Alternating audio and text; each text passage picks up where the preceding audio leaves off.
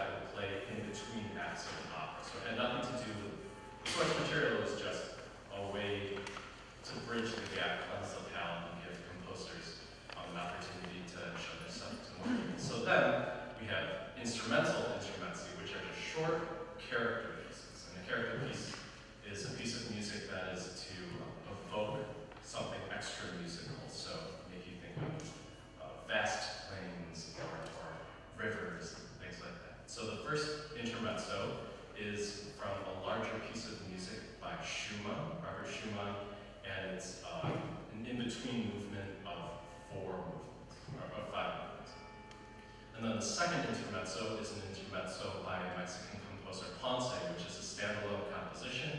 And the final intermezzo is from Brahms, and I'm playing from the Opus 117 intermezzo set, and Evan is playing from Opus 18, And those are just collections of purely